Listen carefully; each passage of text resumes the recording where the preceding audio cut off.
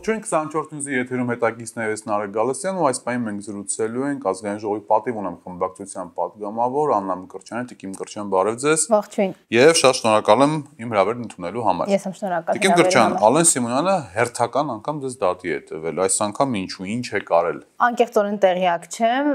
բայց մի անգամից երևի շատ կարճ ամփոփելով ասեմ, որ թողելի դատի տա, թողելի տա։ Շատ լավ է, որ իրենք այլևս այլ ազդեցության գործոն ինձ վրա չեն գտել։ Ինձ հնարավորություն չեն ունեցել լրացնել չնայած իրենց ամբողջ թիմի տականքությունը անհատակ, որը կիրառվել է իմ նկատմամբ, իմ մտերիմների նկատմամբ, ավելի լավ ցուցիչ, որ ճիշտ ճանապարհին եմ, ճիշտ ուղու վրա եմ, կարծում երևի թե չկա։ Իսկ ինչ վերաբերվում է Ալենին որպես տենց երևույթի, ես կարծում իր դեմքին ազգային ժողովում երկու շաբաթ առաջ, եթե չեմ սխալվում, հնարավորություն ունեցա ասել թե ինքնով է։ Ձեր միջև հոգևոր մի տեսակ յուրահատուկ կապ է հաստատվել։ Դրանից ավելի խայտարակ բան հնարավոր չէր պատկերացնել, բայց փաստորեն։ Հայաստանը գտնվում է ծանրագույն ճգնաժամի մեջ մենք կորցրեցինք Արցախը իր բոլոր ողբերգական հետևանքներով ու դրա փոխարեն խորհրդարանում իրավիճակի փրկման դիսկուրսի փոխարեն մենք տեսնում ենք անընդհատ անձնական վիրավորանքներով լի փոխհարաբերություններ ձեր եւ պարոն Սիմոնյանի միջև եղած փոխհարաբերությունները դրա այսպես վառ վկայությունն է։ Չեք կարծում, որ մի տեսակ այլևս դրա ժամանակն էլ է անցել եւ դա արդեն որևիցե ազդեցություն չի թողնում հասարակության վրա։ Դե կարթար չեք, երբ որ ընդհանրական ասում եք վիրավորանքների ինչ որ տեղատարափ է եւ այլն։ Այո, ազգային ժողովը այս պայդերությամբ գոյություն չունի, ինչպես որևէ պետական ինստիտուտ Հայաստանում, բայց արդյոք, բայց արդյոք շատ լավ, բայց արդյոք երբ որ ինձ հնարավորություն չի ընձեռնվում խոսել, այսինքն սահմանադրական իրավունքը քաղաքացու է, հələ падգամավորական երաշխիքները, որոնք իբր ավելի բարձր են, մի կողմ եմ դնում, քաղաքացին Հայաստանի Հանրապետության ազգային ժողովում իդեմս ինձ խոսելու հնարավորություն եւ իրավունք չունի։ Միկրոֆոնը անջատեք, ախրանիկներին կանչեք, չգիտեմ էլ ինչ արեք, այսինքն այս ամեն ինչին դուք մտածում եք, որ պիտի անարձագանք թողնեմ, ասեմ Ալեն Սիմոնյանից այն կողմ մեկ էլ Ալեն Սիմոնյանն է։ Ես չեմ ասում, որ դուք պետք է անարձագանք թողնեք, ես ասում եմ այն մտնոլորտը, ես փոչ չեմ փոխում։ Շատ լավ, երբ որ ինձ հնարավորություն չեն տալիս խոսելու, ինձ առաջարկեք ինչ անեմ։ Այն մտնոլորտը, որը ձևավորվել է, այդ մտնոլորտը այլևս մի տեսակ հոգնեցրել է բոլորին։ Իհարկե իսկ երկրում ստեղծված մտնոլորտը չի հոգնեցրել։ Մենք իբր մի օրինակ բերեմ այլ, հա, արտաքին հետախուզական ծառայություն իբր ունենք, բայց ինքը շատ այնպես հետաքրքիր մանրապատկերն ամբողջ պետական համակարգի, այդ թվում նաև ազգային ժողովի։ Ուրեմն այդ արտաքին հետախուզական ծառայությունը մենակ ղեկավար ունի։ Քրիստինե Գրիգորյան, հա, ինչ որ անդեմ անկարծիկ միպ աշխատած մեկին Նիկոլական հիմա տվել են արտաքին հետախուզության ծառայության ղեկավար։ Կհարցնեք այդ ծառայությունը նպատակներ, գործառույթներ ունի, չունի, կառուցվածք ունի, չունի, աշխատողներ ունի, չունի, հաստիկացուցակ ունի, չունի, ոչ մի բան չկա։ Սա դե հիանալի նկար, հիանալի նկարագրում է հիանալ արդեն տարի ու կես իբր ստեղծված է այդ մարդն էլ այդ ղեկավարն է հիանալի նկար ինքը նոր է նշանակվել բայց տարի ու կես առաջ հայտարարել են դրա ստեղծման մասին եւ որոշումը կար դրա ստեղծման Հիմա խնդիրը ինչու՞մն է, այս եթե այս արտաքին հետախուզական ծառայությունը հիանալի նկարագրում է տեսանելի առումով ինչա կատարվում այդ ծառայությունում։ Ես ես վստահեցնում եմ ազգային ժողով կառավարություն ոչ մի բանով չեն տարբերվում։ Մի խորհրդարան, որի նախագահ կոչվածը չի կարդացել, որ ԱԺ կանոնակարգ սահմանադրական օրենքով ինքը բնականon աշխատանքն ապահովողն է եւ ոչ թե Նիկոլի ախրանիկների պետը ուղղակի ազգային ժողովի շենքում։ Ստեից է խնդրեմը գալիս։ Դուք նայել եք ազգային ժողովի օրակարգերը։ Այո, այս օրհասական ողբերգական այդ հաճույքը վայելում եմ։ Այս օրհասական ողբերգական պահին, ինչպես դուք ճիշտ նշեցիք, ինչ ենք քննարկում։ Քննիչի աշխատավարձը բարձրացրեք, դատախազի աշխատավարձը բարձրացրեք, դատավորի աշխատավարձը բարձրացրեք սիրով այդ քննարկմանը մասնակցում են։ Դե գիտեք ինչ, ես հասկանում եմ, որ ազգային ժողովում ընդդիմությանը ինչ ասես ասելը եւ թիրախավորելը շատ հեշտ է անհետևանք է Նիկոլին թիրախավորելը հետևանքով է քրեական գործերով եւ քաղաքական հետապնդումներով լի է է, բայց ամենայն մասով եկեք իմ մասով էլ անարդար է, որտեվ ես կարծում եմ ինձ տրված բոլոր գործիքակազն ազգային ժողովում օգտագործել եմ եւ եթե իմ հանդեպ քննադատություն կա, ես սիրով կպատասխանեմ։ Չէ, խնդիրը ձեր հանդեպ քննադատությունը չի, խնդիրը հետեւյալն է։ Արդյոք վերաիմաստավորման խնդիր ընդդիմությունը իր արդյոք չպետք է դնի, որովհետեւ տեսեք, դավաճան դավաճանը դու ես հողանձնող հողանձնողը դու ես, չգիտեմ, տականք տականքը դու ես եւ այլն, այս դիսկուրսը այլևս դարձել է սովորական եւ բարերը կորցրել են իրենց իմաստը եւ նշանակությունը իսկ հարցին թե ինչպիսին պետք է լինի մի պահ ենթադրենք ինչ որ մի հրաշքով վաղ անդիմություն նորից դառնում է իշխանություն, հա կամ արկա անդիմադիր ճյուղերից մեկը, ինչպիսին պետք է լինի այն Հայաստանը, որը իրենք են պատկերացնում, դրա դիսկուրսը այսօր անդիմության մեջ գոյություն չունի։ Դրա փոխարեն կա այն ինչ որի մասին ես խոսում եմ։ Այդ դիսկուրսը անդիմության շրջանակներում կա եւ այս անդիմությունը հանրային տիրույթում էլ կա, ավելին այն բոլոր շարժումները հայրենիքի փրկությունից մինչև դիմադրություն միշտ ներկայացրել են այլընտրանքային կառավարության ծրագիր, արտաքին քաղաքական նպատակներ, այո, ես ձեզ կարող եմ նույնիսկ YouTube-ում լինքերը ցույց տալ մասնաբաժիններով ներկայացրել են մեր падգամավորները ընդդիմադիր ամբիոնից թե ինչ են պատկերացնում այս կամ այն ոլորտում, բայց խնդիրն ամենևին այդտեղ չէ։ Խնդիրն ամենևին այլ տիրույթում է։ Հարցն է, որ մեր ընդդիմության նպատակը հիմա որ վաղը Հայաստան լինի է։ Այսօր կառավարության նիստ է եղել, դուք այդտեղ տպավորությունն եք, որ այս երկիրը կառավարություն ունի։ Այդ մարդիկ ոնց որ տարբեր ոլորտների բրոքերներ ելնեն։ Այս երկրում զենք կա մնացած, պիտի հասկանանք դա Թուրքին, Ադրբեջանցում ոնց ենք ծախում, տարածք կա մնացած, պիտի հասկանանք դա ոնց ենք մասնատում ծախում։ Երբ որ քո երկրի ղեկին նստած է մի դավաճան, քո աշխարհակաղակական ընկալումները, քո միգուցե քաղաքագիտական տեքստերը, այո, ճիշտ եք ասում, ոչ նայվում է, ոչ էլ լսվում է, որովհետև ոչ մի գիտական բացատրություն չկա այն ամենին, թե ինչի այս մարդը մինչև հիմա ստեղ։ Այս մարդը Նիկոլ Փաշինյանը դավաճան է, եկեք հարցականի տակ չդնենք այն փաստը, որ ինքը այնքան վատ է։ Նիկոլ Փաշինյանը վատն է։ Ես որպես հարցազրույցավար պետք է բան չտամ, մեկ դա որակավորում չտամ, բայց եթե Նիկոլ Փաշինյանը այդքան վատն է, բայց մենք միգուցե ելակետից պիտի դրա մասն եմ ասում։ Մենք պիտի այդ ելակետից սկսենք, որ Նիկոլ Փաշինյանը վատն է եւ մեր քաղաքացիների գերակշիռ մեծամասնությունը սոցիոլոգիական հարցումներով էլ են դա փաստում։ Այսինքն մեր խնդիրը այլևս ներկայացնելը չի, որ ինքը վատն է եւ դու ճիշտ եք ասում, ազգային ժողովը նաեւ դրա համար է սպառված։ Բայց երկու տարի առաջ, երբ որ ես ազգային ժողովում ասում եի, որ Նիկոլը վատն է, դրանց ցնցումներ էր առաջացնում։ Դա հիմա է ընդդիմության աշխատանքի շնորհիվ է, որ այդ հարցը այլևս հարցական չի, այլևս ժողովրդական լեզվով ասած, դա հարցի լուծում չի։ Ես ես այն չեմ պահանջում հրաշքներ, ես ուրիշ բան եմ ասում, ասում հետեւյալը, որ այն ինչ որ որ դուք ասում եք, Այն մարդիկ, որոնք որ ձեզ հավատացել են, արդեն հավատացել են կամ հավատում են։ Հիմա հետո Հայաստանը կանգնած է ծանրագույն մարտահրավերների առջև։ Օրակարգում է խաղաղության պայմանագիր կոչեցյալը կամ խաղաղության խաչմերուկ կոչեցյալը։ Եթե վաղը մի հրաշքով Հայաստանում իշխանություն փոխվեց, այդ մարտահրավերները չեն դադարելու գոյություն ունենալ։ Եվ դրանց դեղատոմսը պետք է առաջարկվի։ Խնդիրը որն է, որ մենք հիմա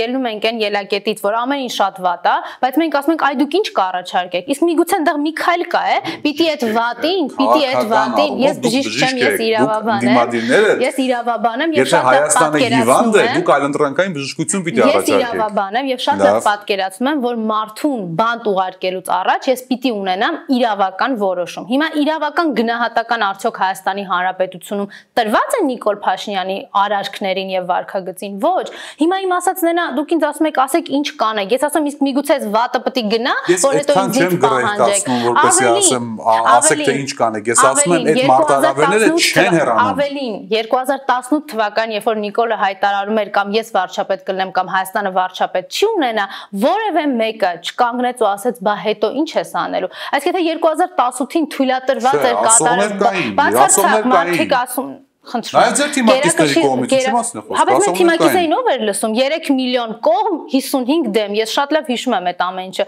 Ասածս անա, երբ որ Նիկոլ Փաշինյան ասաց, որ ես եմ այս երկրի վարչապետը, իրան ոչ մեկ չհարցրեց դու արտաքին քաղաքականությունում ինչ ես անելու, ներքին խնդիրների հետ ինչ ես անելու, այս ատելությունը, որ սերմանում ես, ոնց ես վերացնելու։ Ասում եք խաղաղության խաչմերուկ, խաղաղություն։ Մենք անգամ Նիկոլի կեղծ բառապաշարով ենք առաջնորդվում։ Մենք ինքներս մեզ հիմա չգիտես ինչի մեր խոսույթ ներառել ենք Նիկոլ Փաշինյանի տերմինաբանությունը։ Այդ խաղաղություն խաչմերուկը հայ ժողովրդի համար պատալոգ լինելու է փակուղի վերջ, դա մեր վերջն է լինելու։ Իմ կապ բայց դա կա, դա իրողություն է։ Ավելին հիմա մենք միանգամից դա իրողություն չի, դա դա Նիկոլի այլընտրանքային իրականությունն է։ Վաղը Նիկոլ Փաշյանը առավոտյան հրաժարական տվեց։ Հայաստանի արչև ծառացած մարտահրավերները մնալու են թե չեն մնալու։ Գիտեք առաջի խնդրեմը հաջորդ իշխանության որն է լինելու։ Իրավական գնահատականը ոչ թե հաջորդ առավոտ Նիկոլի հրաժարականի գնա Ալիևին ասի, կասես ինչ մնաց քեզ տալու ես էլ տամ, այլ իրավական գնահատական։ Այդ այդ ինչ էր այդ 2020 թվականը։ Իրավական գնահատականը փոխում է արտաքին քաղաքականությունը,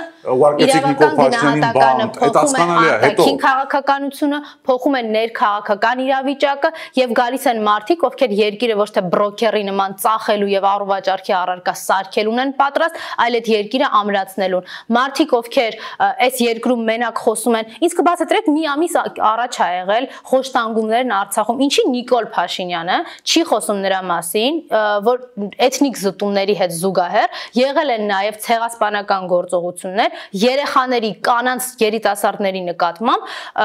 ուղղակի խոշտանգել են այդ մարդկանց հիմա դրա մասին արդեն մի շաբաթ է հայտարարում։ Ներողություն, քնչական կոմիտեն է մեր երկրի միջազգային հարաբերությունների սուբյեկտը։ Այս երկրի վարչապետն է։ Դուք ասեք ինչ եք ուզում, ասեմ վարչապետ եմ ուզում, որը ոչ թե պարտակում է Ալիևի հանցագործությունները, այլ գնում է միջազգային ատյաններ, որը միակ հայկական շահը ներկայացնող սուբյեկտն է միջազգային հարաբերություններում, այս ամեն ինչի մասին խոսում է։ Մակիանյոնից դրա մասին հայտարարվեց, արտադրության միջազգային միջազգային դատարան արվեց, հայտարարը դիմվեց դրա հետ կապված էթնիկ զտումների հերթով Ուրեմն ՄԱԿ-ի արդարացան դատարանում դրա մասին խոսել է ոչ Հայաստանի Հանրապետության ղեկավարը, ավելին ադրբեջանցիները ՄԱԿ-ի արդարացան դատարանում մեջ բերեցին Հայաստանի ղեկավարի խոսքեր, ասելով որ այնտեղ էթնիկ զտումներ չկա։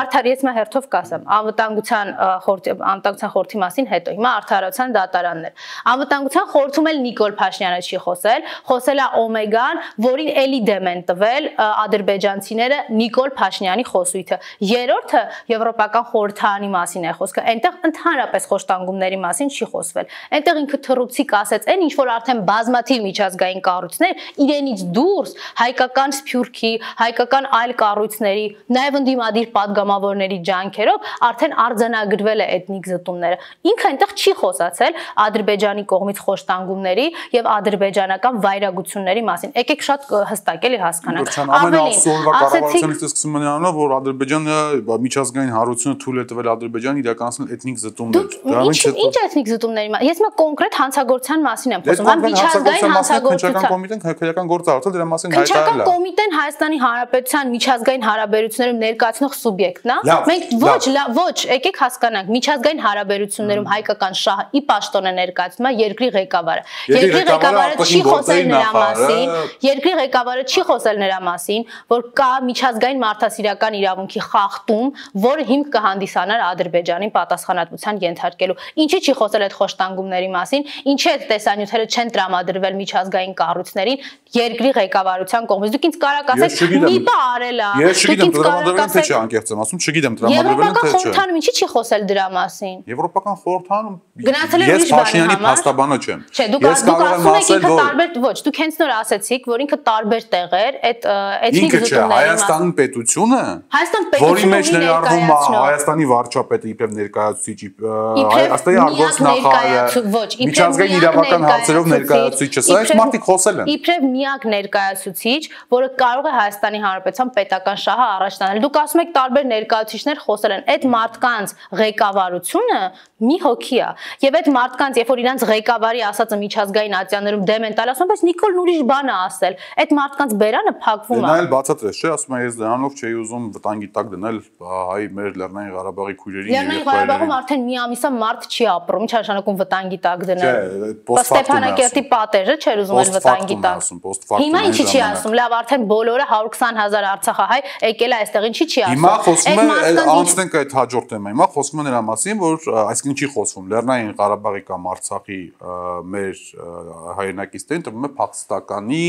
կարգավիճակ։ Ընդհանրապես ձեր կարծիքով այս որոշումը լավ է թե վատ է, թե ընդհանրապես ինչ ռիսկեր է պարունակում իր մեջ։ Հիմա փաստորեն Նիկոլ Փաշինյանն ասում է, որ Հայաստանի Հանրապետության կապույտ անձնագիր ունեցող մարդիկ տենց միևնույնն է, ինքը կարա իրանց համար ցանկացած միջանկյալ։ Բացատրեք, ես չեմ կարող հասկանալ, այդ մարդիկ ունեին քաղաքացիություն Հայաստանի։ Հա, եւ ունեն, այսինքն ի՞նչ է նշանակում հիմա նորից դիմել Հայաստանի քաղաքացիության։ Այդ նույն բանը ոնց որ դուք ինձ հիմա ասեք, դուք իրավաբան եք, ինձ կբացատրեք ինչի Հայաստանում 50 հոգի մարդ է նստած մի ոստիկանի ցուցմունքի կամ ստատուս գրելու համար։ Դա իրավաբանություն չի, դա նիկոլություն է։ Դրանք տարբեր կատեգորիաներ են։ Հա, իրավաբանները անզոր են դրա դեմն առնելու դրա դեմը այլ կերպ է պետք առնել պետքա Նիկոլ Փաշինյանին հերացնել հիմա ի՞նչ է ասում ասում Ժորժ ջան այդ 120 հազարդ որ եկել եք ստեղ եւ դրանից առաջ էլ 30000-ը 44 օրից հետո։ Դուք ինձ համար այն որ ձեզ կասկածի տակ են ուզում դնեն, ես ձեզ սիրում եմ, շատ եմ սիրում, քիչ եմ սիրում եւ այլն։ Ինձ համար դուք ընդհանրապես Հանրապետության քաղաքացի չեք, ես ձեր նկատմամբ որևէ պատասխանատվություն եւ պարտականություն չեմ ստանձնում։ Այդ մարդկանց հələ ենթադրենք իբր բոլորին տվել այդ 100.000-ը, իհարկե չի էլ տվել։ Այդ 100.000 դրամ բոլորին չի տվել, ոչ, բոլորին չի տվել։ Ես 4000 մարդու մասին է խոսքը։ Այսօր կառավարության նիստում է ասել, հիմա ես իրեն եմ ցիտում։ 4000 մարդ է եկել Արցախ։ 104000 մարդու տվել է 100000-ական դրամ։ 4000 մարդ է եկել Արցախից հարցը։ Բայց մեկ բոլորին տրվել է։ Ես ես կամ ես ունեմ քաղաքացիներ ինձ դիմաց, ում չի տրվել հիմար բացատրություններով Միգուցե նախորդ են եկել, հա, հիմար բացատրություններով, ես այդ մարդկանց թույլտվությունը չունեմ, որպեսզի այդ անձնական հարցերը հրապարակեմ, բայց երբ որ դուք պնդում եք, որ տրվել է, դա էլ իրականությանը չի համապատասխան։ Դուք ասացիք բոլորին նոր տրվել է։ Այո, այսօր կառավարության նիստում հայտարարվեց դրա մասին։ Ավելին այդ մարդկանց բանկային գաղտնիքները, չգիտես թե ոնց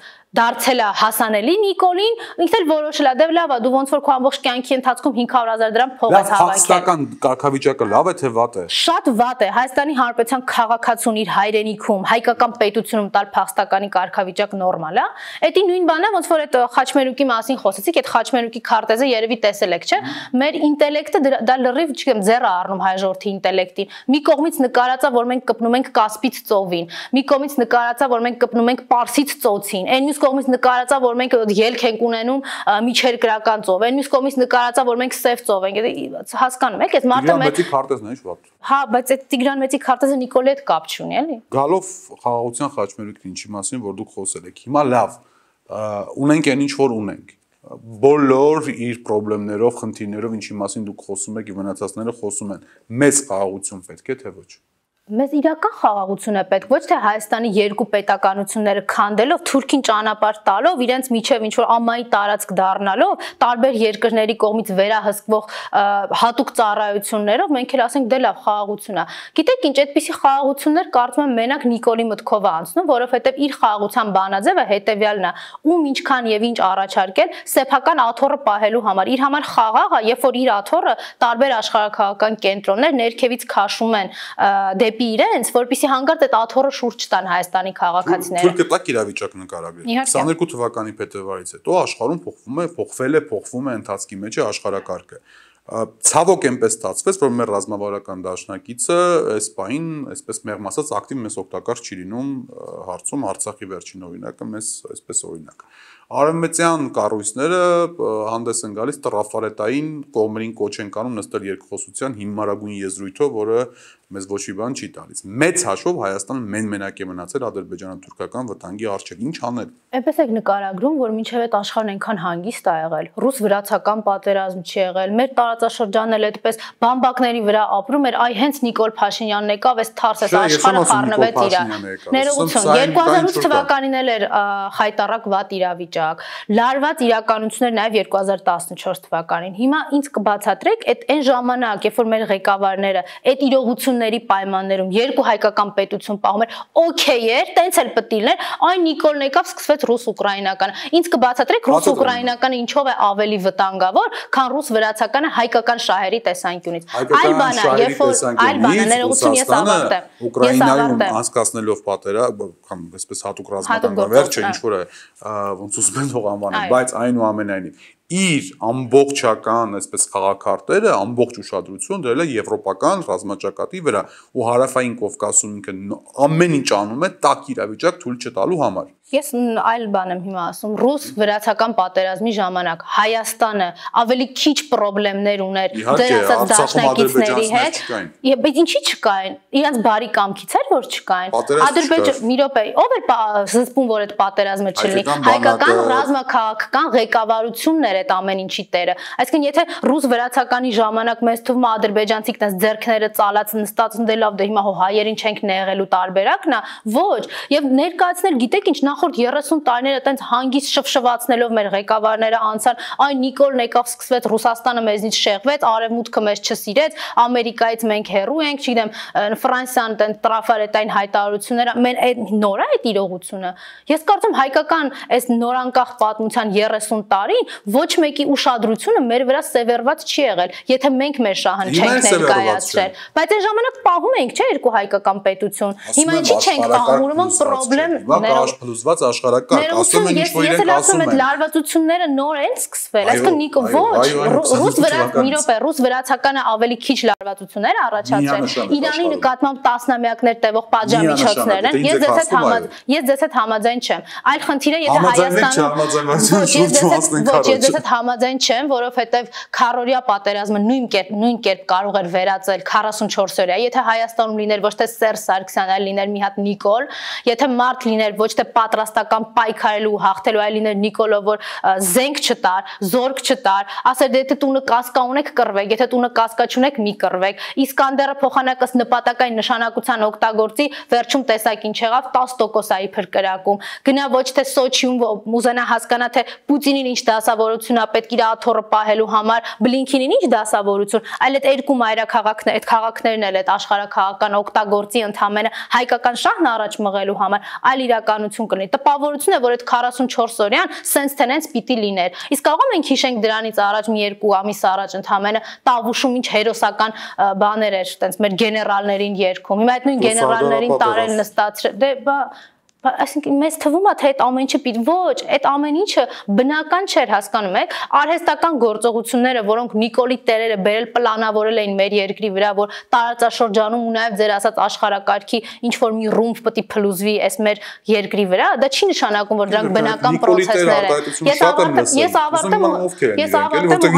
անձամբ անկեղծ եմ ասում, ինչ համար գաղտնիք չէ, բազմիցս խոսել եմ, հիմա շատ անկեղծ ու པարզ ձեզ հետ խոսեմ ավարտելով այս նախադասությունը։ Եթե այդ աշխարհակաղակական կան եւ այդ աշխարակարգի փլուզման ռումբերից մեկը Նիկոլի արհեստական գոյությամբ ստեղ փլվեց մեր գլխին, դա չի նշանակում, որ ով էլ լիներ, դա պիտի լիներ։ Հենց հայկական ղեկավարության գոյության եւ հայկական հայրենատեր իշխանության գոյության իմաստը ամբողջ այն է, որ այդ մարդու ընտրության արդյունքում պետքա լինի ինչ որ գործողություն, որոշումների արդյունքում պիտի կանխվի ինչ որ գործողություն եւ ինքը ընդհանրապես ոչ թե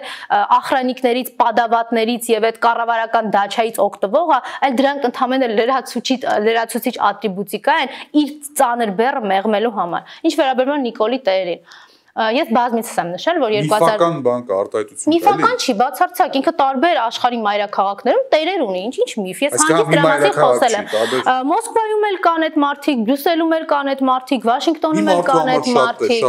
Չէ, շատ չի, եթե դուք հիշեք 2018-ին ինչ տեղի ունեցավ, եւ եթե մենք հիմա Բաղդադ ենք այդ իրականությունը, կհասկանանք, որ շատ չի, հա։ 2018-ին ովքեր էին փողոց փակում, ովքեր էին ջուր բերում, ովքեր էին աչք փակում, որ բոլոր այդ իրավական գործընթացները գործընթացները հանկարծ տեղ չգտնեն Հայաստանում, ինչպես էին դեսպանները այսպես սրտատրոփ սպասում Նիկոլի վարչապետությանը։ Դուք կտեսնեք, որ Հայաստանի ներքին գործերին միջամտություն 2018 թվականին այնպիսի մասշտաբներով է իրականացվել, որ մեր պետությունը դիմակայել չէր կարող։ Ես այստեղ ավելի ազնիվ կգտնվեմ ու կգնամ առաջ ասելով, որ այդպիսի բանին կարող էր դիմակայել առավել ուժեղ գիտակցություն ունեցող հասարակությունը։ Մասնավորապես մենք կներեք, բայց պիտի կուտը չուտեինք, էլի, որ կարմիր գծեր չեն լինելու, կամերաներ չեն լինելու, տուգանքները ջրվելու են, բանկերը թալանելու ենք, վարկերը փակելու ենք, մանումենտի տները, բանալիները տալու ենք, հեսա դուք եք գնալու այդ մանումենտի տներում ապրել։ Հասարակություն, որ ունի երկու հայկական պետություն, բայց իր համար կարևորը մանումենտի տան բանալին է, ինչ որ մի քրյա օլիգարխի,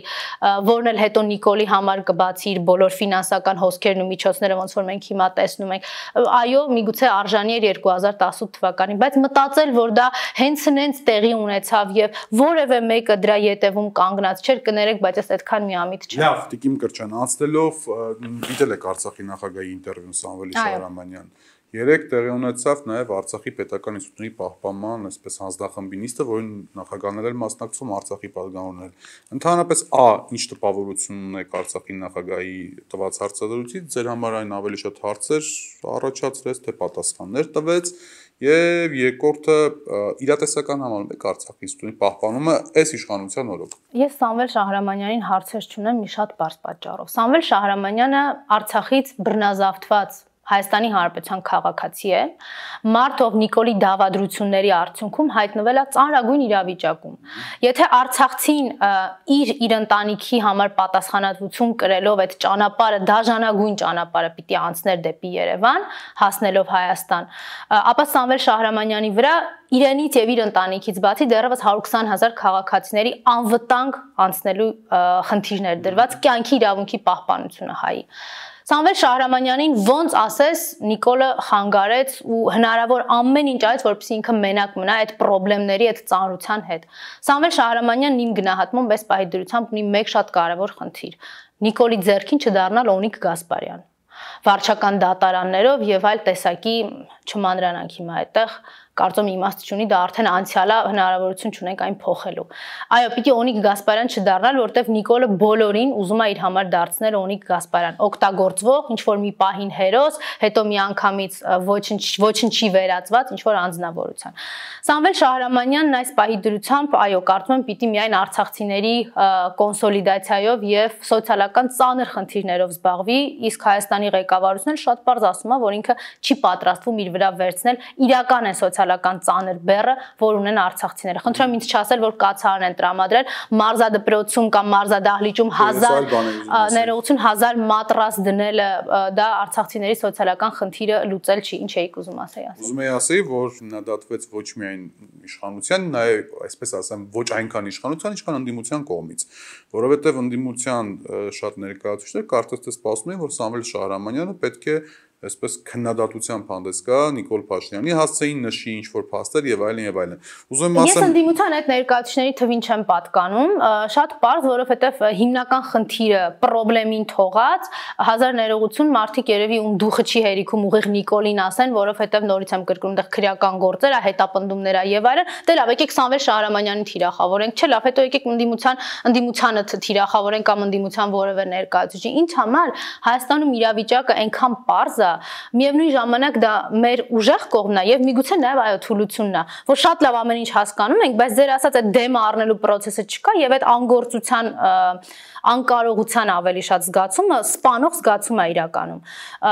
թողնել Նիկոլին, ով որ 2018-ից 18 հատ բան է ասել Արցախի հետ կապված։ Մենք ասում ենք Նիկոլին թող ինքն էլ ասի, դա հետ էին ասում։ Եվ ինչ անի, ասելով ինչ է փոխվում, հա? դե Այսինքն այլ բան որ հույս ունեն, որպեսզի արցախցիները ներքաղաքական process-ների մեջ կներգրավեն, ինչը իդեպ կարող է կործանարար լինի։ Ես ընդհանրապես չեմ կիսում, որ չգիտեմ, անա գյումրեցիները պետք է մասնակցեն, արցախցիները պետք է մասնակցեն կամ չեմ կոտայքի բնակիչները պետք է մասնակցեն, մնացածը ոչ, Հայաստանի քաղաքացիները, հայերը պետք է մասնակցեն, հայկական պետականության փրկությանը յուրաքանչյուրի ընտրությունն է այդպիսի մարդ չկա, որ կորցնելու որևէ բան չունենա։ Այլ բան է, այդ մարդը համարում է, որ հանուն ինքնիշխան ու անկախ հայրենիքի կորցնել արժի, փորձել արժի, թե ոչ։ Սրանք ստանդարտ լուծումներ չեն, քաղաքական լուծումներ չեն։ Ամեն ինչի պատրաստ պիտի լինենք մեր հայկական պետությունը փրկելու համար։ Եթե մտածում ենք 5 անգամ դուրս ենք եկել փողոց Նիկոլ Փաշինյանը պիտի ձեռքերը վեր բարձրանա, կամ ինչպես ինքն էր ասում, կանգնի գնդակահարության պատի տակ, նման բան չի լինելու։ Այս մարդը հազար անգամ ապացուցել է, որ բոլոր հայերի առանց բացառության բոլոր հայերի կյանքի գնի վրայով կանցնի, մեքենայի տակ կգցի հայերին, բանտում սպանել կտա հայերին, կրակել կտա ոստիկանների կողմից, այդ իրա կարմիր կապույտ եսիմ ինչ բերետներ հակնող կենթանիներով ծեծել կտա հայերին, կանանց կբանտարկի, ցանկացած բան կանի, միայն թե ինքը մնա իշխանության։ Տիկին Գրջյան, վերջին հարցը դուք ասացիք Սամվել Շարյանը պետք չի վերածվի Օնիկ Գասպարյանի։ Հիմա շատ անկեղծ հարց եմ ուզում տամ։ Չզեք կարծիքով Օնիկ Գասպարյանի այն այսպես պատմությանը, հա, որը ավարտվեց այնպես ինչպես որ ավարտեց։ Ինչքան իշխանությունը, իշխանության մեղքի բաժինը գոնե ձեր համար հստակ է։ Ընդդիմության մեղքի բաժինը որն էր։ Օնիկ Գասպարյանի գործողություններում ինչ ազդեցություն ուներ ընդդիմությունն ընդհանրապես։ Ասեմ, Օնիկ Գասպարյանի հայտարարությամբ Հայաստանի բանակը հայտարարեց ներքաղաքական չեզոքության մասին։ Այո։ Ինչքան ես գիտեմ, ինչքան ու ես եմ տեղյակ, Օնիկ Գասպարյանը այդ ընթացքում նաև ակտիվ շփման մեջ էր ոստիկանության եւ այլ ուժային կառույցների հետ, որոնք, հա, որոնք պետք է այսպես ժողովրդի նկատմամբ բան չիրականացնեին, հա, բռնություն չիրականացնեին։ Դաշտը մնացել էր ընդդիմությանը։ Եվ ընդդիմությունը 2-3000 մարդ հանեց ընդամենը փողոց։ Նախ 2-3000 մարդ չէր, տասնյակ հազարավոր մարդիկ են եղել եւ խնդրեմ ինձ չներքաշել են թեմայի մեջ, որ քաղաքացիները չեկան, դրա համար ընդդիմությունը բան չարեց։ Քաղաքացիները եկել են ինչպես հայրենիքի փրկության շարժման ժամանակ եւ բոլոր սոցիոլոգիական հարցումներն էլ ցույց են տալիս, այդ թվում նաեւ ոստիկանության ներքին հարցումները ես տեղեկություն ունեմ, որ Հայաստանի այսօրվա անդիմությունը կարողացել է կոնսոլիդացնել եւ փողոց հանել այն քանակությամբ մարդկանց, որ երբեք չի հաջողվել անել Հայաստանում որևէ անդիմության։ Եվ սա ամենևին անդիմության մասին գովքը չի, սա նրա մասին է, որ Հայաստանի հասարակության գիտակցությունն այնքան է այն իրողությունների մասին, թե ինչ է կատարվում Հայաստանում, Հայաստանում, որ ավարտեմ, Հայաստանում, որ կարողացան դուրս գալ փողոց մի քանի անգամ ընդ որում աջակցելու այն գործընթացին, որի անունն էր հերացնել դավաճանին այս երկրից։ Ինչ վերաբերում է ունի Գասպանի գործողության հերթով կանցնեմ, հա, առանց որևէ բան բաց թողելու դուք ինչպես այտենց ընդդիմության դաշտ էլի փորձեցիք գցել հիշում եք որ կարծեմ կեսօր չանցավ Նիկոլ Փաշինյանը գնաց գլխավոր շտաբ եւ գլխավոր շտաբում այն մարդիկ ովքեր ստորագրել էին այդ հիանալի հայտարարության տակ որը շատ ճիշտ եք նշում քաղաքական ազդեցությունից զերծեր իրականում ոլորտային գնահատականներ էր տեղի ունեցողին ընդամենը, հա, ոչ ինձ վարչապետ դնելու մասին էր, ոչ էլ որևէ այլ մեկին։ Ահա եւ այդ մարտիկ երբ որ ընդամենը կեսօր անց իրենց ստորագրած գեներալական ստորագրությունից հետո պատվի են առնում Նիկոլ Փաշին գլխավոր շտաբի նիստերի դահլիճում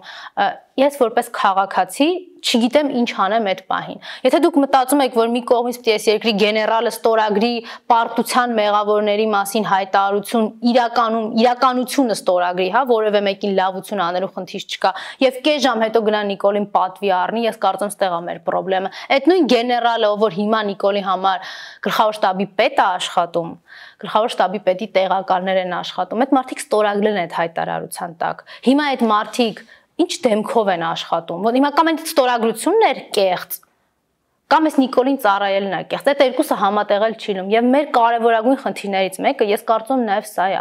Մարդկանց մոտ տպավորությունը, որ իրանք կարող են տենց երկու աթոռի վրա նստել։ Մի կողմ երեսը թեքելով ասեն, որ Նիկոլը դավաճան է, իրականությունը խոսեն, թե ինչա կատարվել պատերազմում, հետո երեսը թեքել են մյուս կողմ ու խոսել նրա մասին, դե դե քանի կանք աշխատենք, մնանք աշխատենք։ Իսկ կարող է այս վճռականության մենք ուղակի աճ նայենք ուղիղ, ոչ աճ եւ ոչ էլ ձախ ու ասենք այն միակ իրականությունը, որը կա Մարդիկ որ մտածում են դե քանի սենց է մի քիչ բզբզանք տենանք ինչ է լինում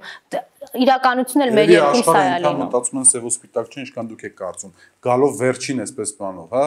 ռեմարկով, եթե ասում եք Հայաստանի ընդդիմությունը ամենաշատ մարդկանց է կարողացել կոնսոլիդացնել եւ այլն, ուր է դրա կապիտալիզացիան։ Ես բազմիցս եմ դրա մասին խոսել, որ ինքս էլ կարծում եմ, որ վճռականության խնդիր կա, բայց սա չի նշանակում, որ ընդդիմությունը որևէ բան չի արել։ Ընդդիմությունն արել է ավելին, քան պետք էր ցանկացած նորմալ իշխանությանը հերացնելու համար, որովհետև ցանկացած իշխանություն այսքան ձախողումներից, այսքան ողբերգությունից հետո, այսքան ողբերգությունից հետո ուղակի կգնար։ Ինքը մի կարծեմ 2-3 օր առաջ այդ բյուջեի քննարկման ժամանակ ասեց իմ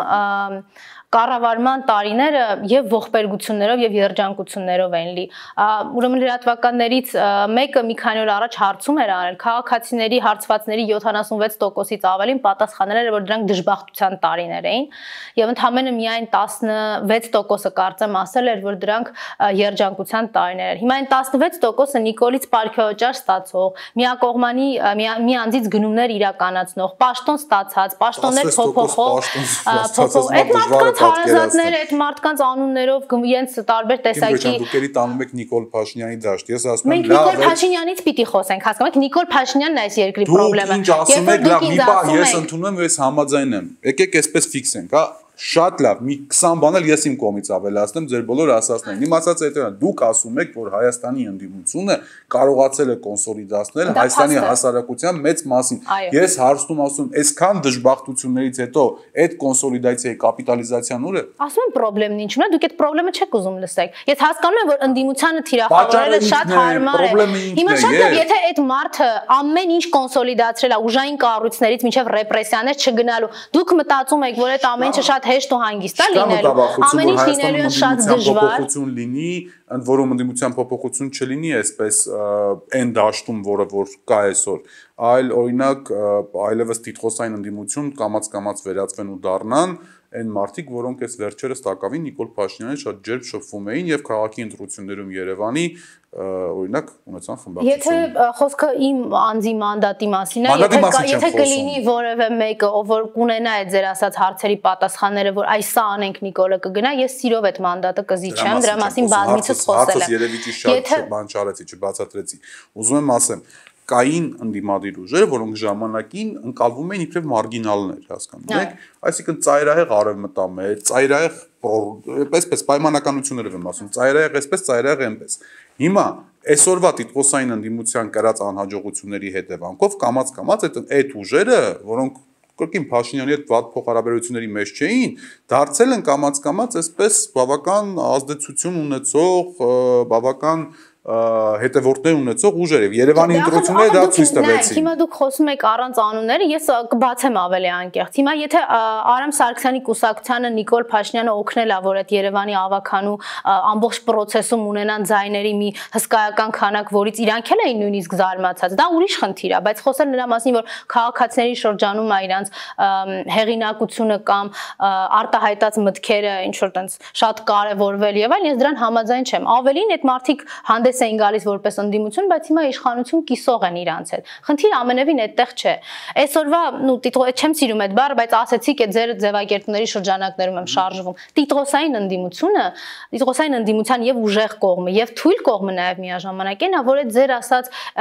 այս կողմա մետներից եւ այն կողմա մետներից իշխանություն չեն ուզում։ Մենք ինչ որ երկրի մայրաքաղաք չեն գնում, ասում ենք մեզ օգնեք Նիկոլի հարցերը լուծենք, հետո գանք նայեք SSSS բաները կանենք, չգիտեմ, 1-ի նոյեմբերի 9-ը պետք նոյեմբերի 9-ը կանենք, մյուսին խաղաղության պայմանագիրը այս տեսքով պետք է տեսքով կամրագրենք այդ խաղաղության պայմանագիրը պարլամենտում։ Մեր խնդրեմը էսա, որ մենք մաքուր հայկական process-ներով իշխանություն ենք ուզում փոխել եւ ուզում ենք այս դավաճաններին իրավական քաղաքական գնահատականի առաջ կանգնեցնել։ Այդ գնահատականներն են բերելու հայկական պետության փրկության փորձին ու միգուցե նաև հաջողված փորձին։ Տիկին Գրչյան շատ շնորհակալ եմ հրավերությունելու համար։ Հիշեցնեմ, որ 24-ի հետագից հաղորդաշարի հյուրն էր ազգային ժողովի պատիվ ունեմ խմբակցության պատգամավոր Աննա Մկրչյանը։